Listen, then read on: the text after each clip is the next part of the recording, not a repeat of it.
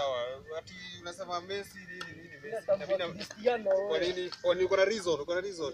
Reason juu. Sikiza kwanza wewe, sikiza. Unajua Messi Messi ametambuliwa. Eh, fiti hivi. Nakwambia Messi anatambuliwa. Cristiano. Mimi ni mchungaji wake Mwenyezi Mungu na nimekuja kuwahubirieni enyi nyinyi mliopotea, na nimewaletea neno lake Mwenyezi? Mungu. Tutasoma katika kitabu cha Psalms chapter 1 na anasema hivi, happy are those who reject the advice of the evil people.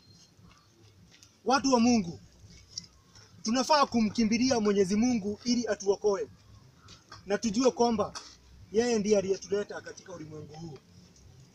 Na tuombe. Baba Mungu, katika jina la Yesu Kristu, ninakuja mbele zako na ninawaleta kondoo wako mbele zako Baba, waokoe na uwasaidie ili waweze kukujua Baba, na ni katika jina la Yesu Kristu ninawaombea hata na kuamini. Tuseme amen. Amina. Sasa watu wa Mungu, kilichobaki ni nyinyi kumtolea Mungu kilicho chake, namaanisha sadaka. Sadaka. Ati sadaka? Eh, sadaka.